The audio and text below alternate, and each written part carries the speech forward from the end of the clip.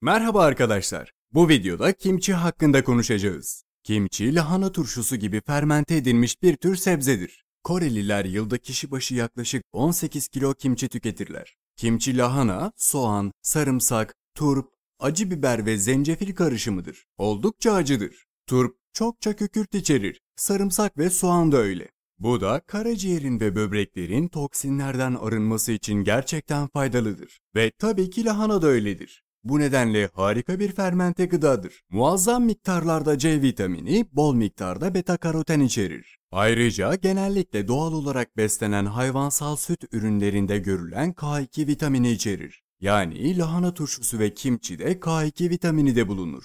Ayrıca mineraller, kalsiyum, demir ve B vitaminleri içerir. Yani sebzelere ait besinler vardır ve sonra fermentasyondan gelen ek yararlara da sahip oluruz. Sebzeleri fermente ettiğinizde çok sayıda bakteri dostu mikrop ve laktik asit elde edersiniz. Laktik asit, bağırsaklarınızdaki minerallerin emilimine yardımcı olur. Zararlı mikropları öldürerek bağışıklık sisteminizi korumaya çok faydalıdır. Bu nedenle kalın bağırsağınızda yeterli asit yoksa pek çok besin maddesini ememeyeceksiniz. Fermente sebze aynı zamanda kötü nefesi ve kronik ağız kokusunu da iyileştirir. Bu nedenle diyetinize daha fazla fermente sebze eklemeye başladığınızdan emin olun. İzlediğiniz için teşekkürler.